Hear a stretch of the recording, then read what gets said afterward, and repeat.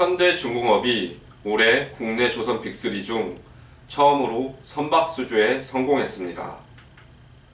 현대중공업은 지난 4일 터키 선사인 디타스 쇼핑으로부터 유조선 두 척을 수주했다고 밝혔습니다.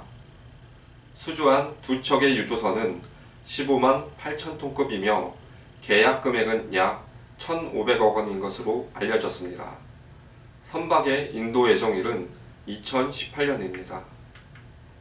현대중공업을 비롯해 대우조선해양과 삼성중공업 등 조선 빅3는 지난달에 단 한 척의 선박도 수주하지 못했습니다.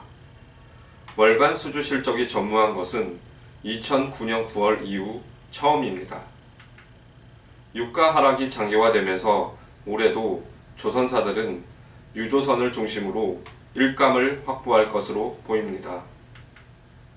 조선 업계 관계자는 올해 첫 수주가 예년에 비해 늦었지만 앞으로 유조선 부분에서 수주량을 늘려갈 것으로 보인다고 말했습니다. 한편 현대중공업은 지난해 4분기 2,791억 원의 영업 손실을 기록하며 9분기 연속 적자를 냈습니다. KS 뉴스 최성훈입니다.